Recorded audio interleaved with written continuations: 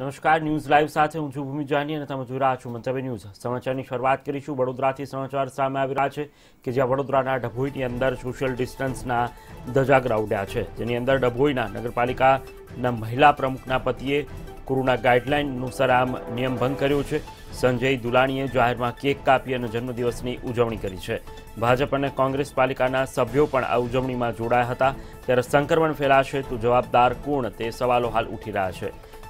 એક તરફ જ્યારે પ્રજા એ નિયમોનું પાલન કરી રહી છે, પોલીસ તંત્ર અને અધિકારીઓ પણ પ્રજાને તેમના નિયમો પાલન કરવા માટે આદેશ કરી રહી છે, તેમના પર જો નિયમ પાલન નથી થતું તો દંડ ફટકારવામાં આવે છે, પરંતુ આવા નેતાઓ સામે કોઈ પણ કાર્યવાહી કરવામાં પોલીસ અટકાઈ રહી છે. જે પ્રકારે વડોદરાથી આ દ્રશ્યો સામે આવ્યા છે કે જ્યાં કોરોના ગાઈડલાઈનનું સરેઆમ ભંગ કરવામાં આવ્યું.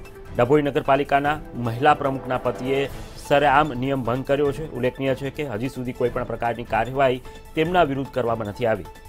સંજય દુલાણીએ જાહેરમાં કેક કાપી અને જન્મદિવસની ઉજવણી કરી છે અને તેના આ દ્રશ્યો મંતવ્ય ન્યૂઝની ટીવી સ્ક્રીન પર આપ જોઈ રહ્યા છો.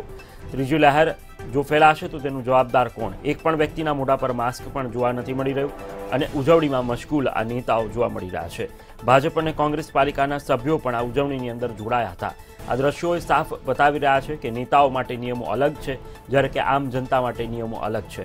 માસ્કનો એક હજાર રૂપિયાનો દંડ વસૂલાત કરવામાં આવે છે, પરંતુ નેતાઓ પાસેથી વસૂલવામાં જાણે કે પોલીસ તંત્ર અને મહાનગરપાલિકા ડરતું હોય તે પ્રકારના આ દ્રશ્યો હાલ જોવા મળી રહ્યા છે.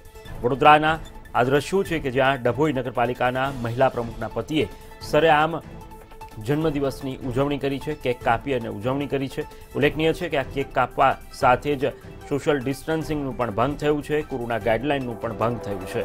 જ્યારે કોઈ વ્યક્તિ જાહેરમાં આ પ્રકારની ઉજવણી કરે છે, તો તે તેના પર પ્રતિબંધ છે, કાયદેસરના પગલાઓ લેવામાં આવે છે, પરંતુ અહીંયા ના તો તંત્ર પહોંચ્યું છે ત્યાં તો પોલીસ પહોંચી છે.